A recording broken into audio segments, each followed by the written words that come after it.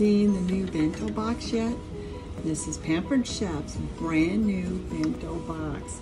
It launched early. August 1st, this became available. So you know what? I'm just gonna set mine up so I can have my snacks for the next couple of days. When I'm working in my office, I can just take this with me and I can have my snacks. In my large cool and serve here, I have my veggies that we snack out of at the table for at lunchtime.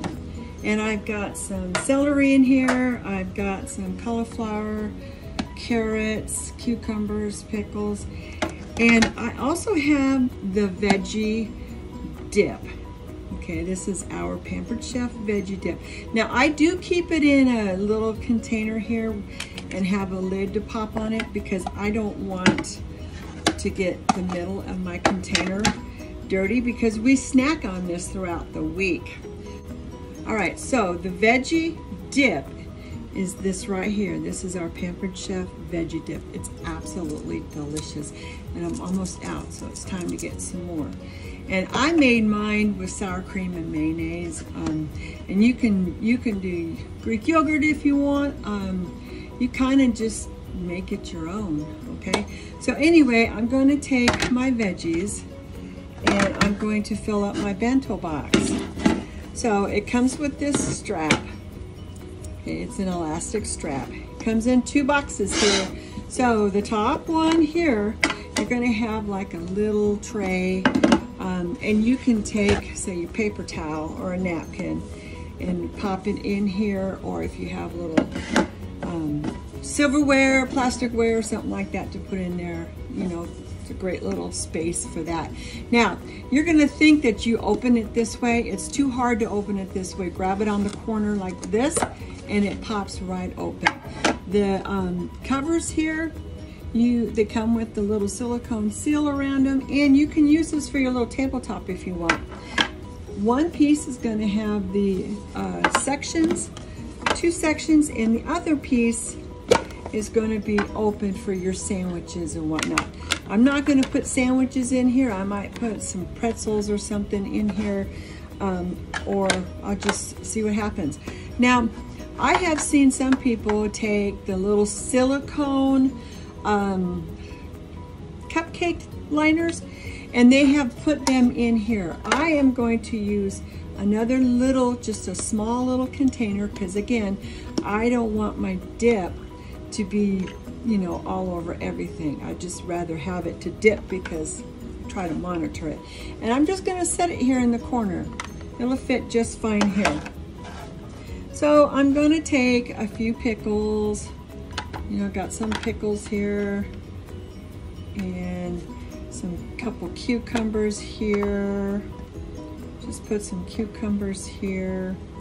Um, and I'll put, I've got some celery and some cauliflower.